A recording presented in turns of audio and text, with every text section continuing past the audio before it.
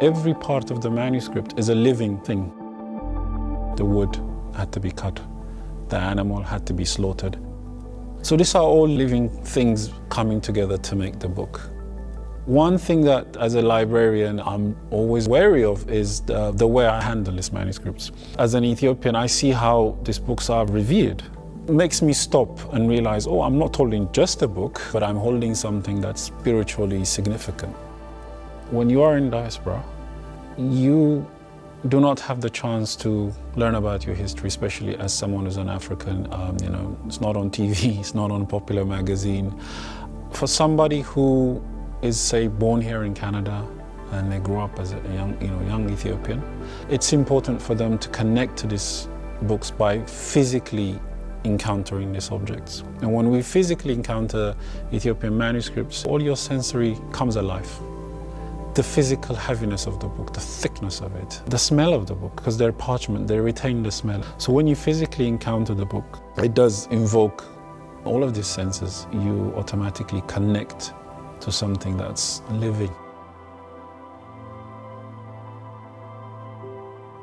There is a traditional position within the church, Akabi, Akabi Mesaf, or protector of the book or keeper of the book, and their role specifically would be to look after the book. There are ways of handling certain books, and uh, of course, placing them is, is really important. Um, you would not place a manuscript on the floor. That's one, because it's, it's considered disrespectful. And secondly, you would not touch a manuscript if a priest is next to you without their kind permission. Sometimes you cannot even place a water next to, um, for example, in the case of amulet scrolls, um, because it's considered it will kill it, the, the potency of, uh, of the text.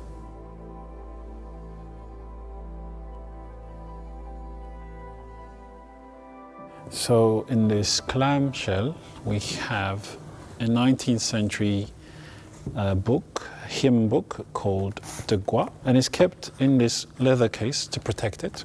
Looking at how fragile this manuscript is, it must have been constantly used, and it has been sewed quite a few times.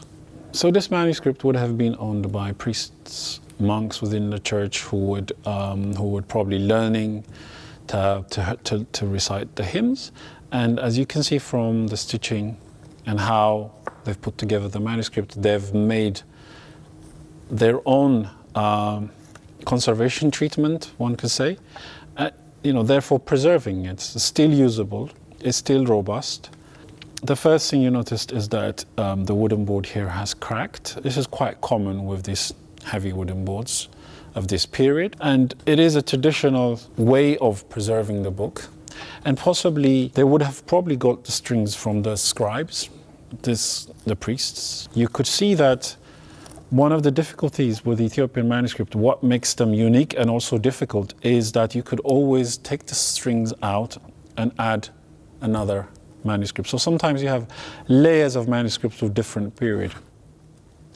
Okay, here we have a personal psalter, has been rebound by the owner where he's made some his own uh, folk mend here, where he's trying to keep it intact. And some of the actual care to protect the book is after the, when the binding was coming undone, he's added this probably later, not at the same time. And there's been some restitching at the top here, which is not really common. You don't see this type of sewing. But again, the purpose here is to make this book last. He would have had recited this probably every morning. And then we go here where we compare it now with a, another psalter, bigger psalter. We have the leather here to protect it, and we have what's called an end band here, which is really not common, they don't survive that much. And what we see here is to originally the leather covering would have covered the entire books. But due to insect bite, termites bite, termites, as you can see here, they've taken the initiative to cut the leather binding and further protect the book. Usually, the priest would also burn the incense, not directly towards the book, but obviously the book would be exposed to the smell. I have seen an example where certain manuscripts are opened to get uh, the smell of the incense, and that's to get, you know, uh, because it is written on fresh skin, and you can sometimes smell the goat or the skin smell, which is not pleasant. And again, from the smell of this book, we can sense that this book would have probably been kept uh, in a monastery. There's been a lot of traditional folk mend here. Modern conservation is really non-interferal, so they do not interfere with the bindings. The, the, their main objective is to maintain the book. Every bit, every change that we see here, everything added, things ripped, we have the board ripped here, it tells a story. So to rebind it or to remake it again would be, we lose this history. And now we move on to something which is really an example of a personal devotional book. It's held in this case, which is called a mahadar. And so the mahadar again has an important function, which is to protect the book further. But sometimes the mahadar itself is, is, is symbolically referred to as the womb of Mary, whereas when you're opening it, you are also bringing out Christ. So sometimes the Mahadar is likened um, to Mary. Again, this shows really the love and reverence that Ethiopians have for uh, the sacred books. You would not leave the Mahadar lying around open like this because, again, it is the symbol of the Virgin's womb. The pious person or the believer would respectfully close it. This book is so important that the owner has not only covered it with leather, as you can see inside, you can just see the leather outside here, but he's also covered it in this beautiful textile. And the way one would open this is to unwrap it like this. Again, this also protects, protects the edges of the book and the opening. This kind of books, personal book and psalters, are read outside. And this is to actually get the book to be exposed a little bit to the air and also in the light, in the natural light. The owner is also able to examine if there are any damages. It is a way of further preserving the manuscript. And again, here we have a very good example of, of care because it was kept in the case. The manuscript looks good as new. So what we have here um, is referred to as magic scrolls, amulet scrolls, healing scrolls.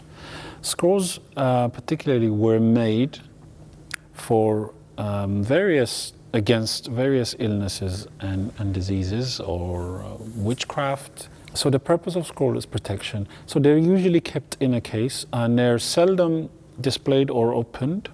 And so they're carried around. So they're very durable. They're used a lot the person who the scroll was made for would have worn it certainly would have carried it around they're never displayed and they're, they're displayed in cases of where a person is ill